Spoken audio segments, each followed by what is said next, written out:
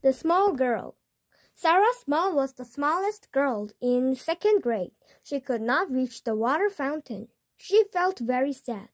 Wait and see, said Mother. It's good to be small. One day, Sarah and her friends were playing soccer. Sarah was good at soccer. She was so small that she could run through tall people's legs. She had just kicked the ball when she saw something green and white. There was a five dollar bill on the other side of the fence, beside the small hole. Sarah's friends were too big to fit through the hole to reach it, but Sarah got down on her hands and knees and slipped through. She picked up the bill from off the ground. Then she told her friends she would buy them all ice cream. Sometimes it's good to be small, she said. Story questions. 1. Why is Sarah sad? Because she is small. 2. Why is Sarah good at soccer?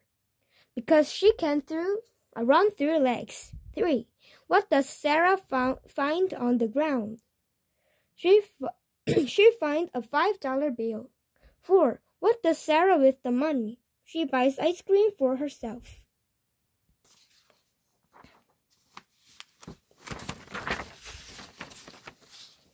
Mark. Mark was seven years old. He talked slowly. He could not read yet, but he was a fast runner. Mark did not have friends at school. The other kids stayed away from him because he looked different. She had his head was big, his arms and legs were short. People were afraid. People were afraid. One day it was time to run relay races. No one picked Mark to be on his or her team. Run on Scott's team, the teacher said. Scott made an angry face. Mark run last. Scott's team was behind, but Mark run, ran and ran, ran. She ran so fast that he caught up to the front runner.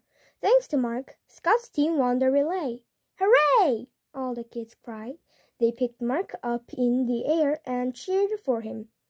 Now they weren't scared. They all wanted Mark to run on their team. Story questions. 1. Why are kids afraid of Mark? Because he looks different. 2. Mark is really good at running. 3. Why is Scott happy? Because Mark wins the relay. 4. The message in this story is everyone has a talent. Tamales. Mondo's mother made tamales at Christmas. They were made with chicken or beef. Tamales remind me of Christmas, Mondo said. His friends laughed. Tamales aren't Christmas food, they said. We eat gingerbread man and candy canes. Mondo felt sad. He went to his mother. Why don't we bake gingerbread men for Christmas? he said. She smiled. Our tamales are special, she said. My mother made them for me when I was a child. Her mother made them for her. Ask your friends over to try them. Mondo asked his friends to come over. They began to eat the tamales. Then something amazing happened. They ate and they ate. They even asked for more. We wish our mothers would make tamales for Christmas, they said to Mondo. He just smiled and ate another tamale. Start questions. 1. What remains Mondo of Christmas? is tamales. 2. Mondo's friends think Christmas food is gingerbread. 3. What happens when Mondo's friends try to the try the tamales? They ask for more. 4. Why does Mondo's mother make tamales for Christmas? Because her mother made them for her.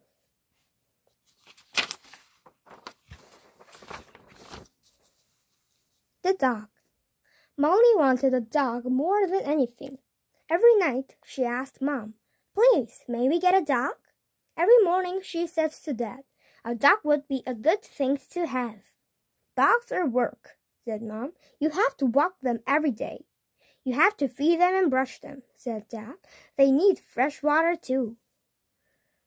I'll take good care of a dog, Molly said. I will walk him and feed him. I will brush him and make sure he always have clean water. Her parents said nothing. Molly felt sad.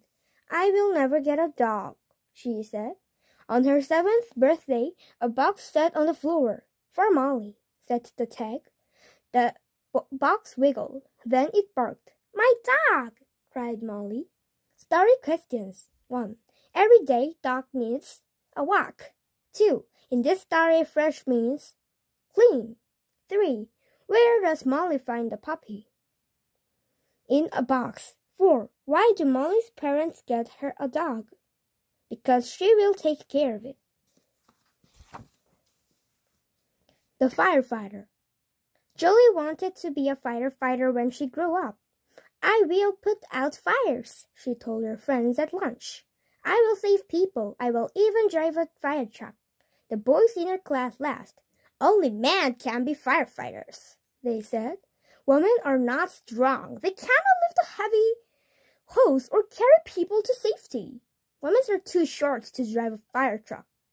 Women can be firefighters, Julie said. You'll see. The next day was show and tell. Julie went first. I would like you to meet someone, she told her class. Just then, a tall, strong woman walked in. She wore yellow firefighter's clothes and a tall yellow hat. She carried a heavy hose. Julie smiled. This is my sister, Jean. She's a firefighter. Story questions. 1. Julie's sister is a firefighter. 2. Firefighters must be strong. 3. Why do the boys laugh at Julie? Because they think only men can be firefighters. 4. What does Julie show the class? Both man and woman can be firefighters. Bye bye.